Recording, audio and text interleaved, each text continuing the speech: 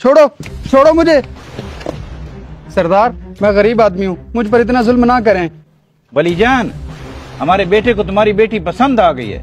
वो उससे शादी करना चाहता है। चुपचाप अपनी बेटी का रिश्ता हमें दे दो। सरदार आपका बेटा तो पहले ही शादीशुदा है। आप मेरा घर क्यों बर्बाद करना चाहते हैं? मेरी बेटी का रिश्ता कहीं और तय हो चुका है। हम सरदार लोग हैं। हमें शादियों का कोई मसला नहीं। मैं तुमसे बहस नहीं करना चाहता। तुम्हारे पास दो दिन का वक्त है। सोच लो वरना तुम्हें पता है हम तुम्हारे साथ क्या करेंगे।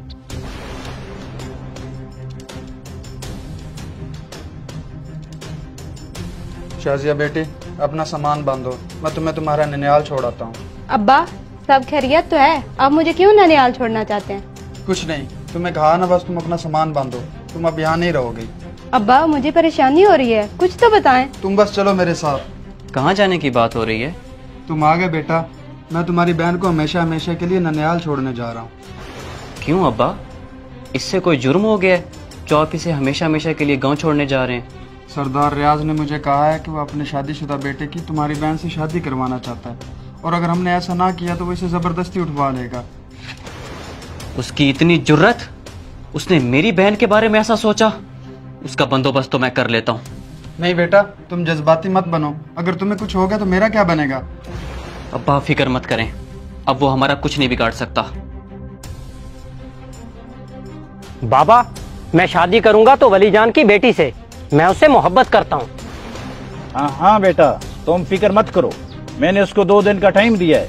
अगर उसने हाँ ना की तो उसकी बेटी मैं उठा कर लाऊँगा। मैं दो दिन सबर नहीं कर सकता। मैं आज ही उससे शादी करूँगा। मुंशी तुम जाओ वली जान का पता करके आओ। सर आपके कहने की ज़रूरत नहीं है। मैं आज शाम तक उन्हें चलान कर दूँगा। थानेदार साहब मुझे एक रिपोर्ट दर्ज करवानी है। हाँ भाई क्या मामला है? किसके खिलाफ रिपोर्ट दर्ज करवानी है? सरदार रियाज के खिलाफ। मैं सरदार रियाज के खिलाफ कोई भी रिपोर्ट दर्ज नहीं कर सकता। आप जा सकते हैं।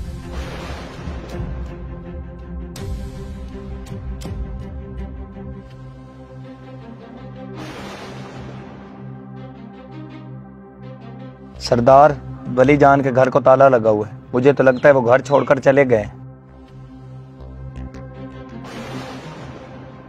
थानेदार साहब आपका यहाँ कैसे आना हुआ? सरदार मैं आपको गाँव वालों की बेटियों को हरासा करने के जुर्म में गिरफ़्तार करता हूँ।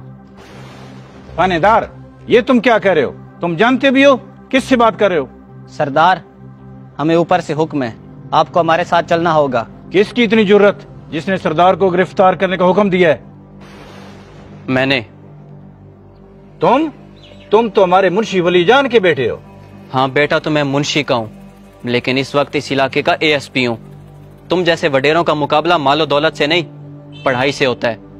थानेदार, इन्हें गिरफ़्तार कर लो, ताकि इन जैसे वडेरों की वजह से किसी गरीब की बेटी को हवस का निशाना ना बनना पड़े। और हाँ इन्हें पता चले कि पढ़ाई की कितनी ताकत होती है। आज के इस ताकतवर माशरे में अगर हम जुल्म का मुकाबला किसी चीज़ से कर सकते हैं तो वो इल्म और कलम है। कलम की ताकत से इंसान बड़े से बड़े ताकतवर शख्स को गिरा देता है। इसलिए हमें चाहिए कि हम तालीम को आम करें और खूब पढ़ें, ताकि हम ताकत का मुकाबला इल्म से कर सकें। अगर आपको हमारा ये मैसेज पसंद आया तो इसे अपने दोस्तों तक ज़रूर पहुँचाएँ। शुक्रिया।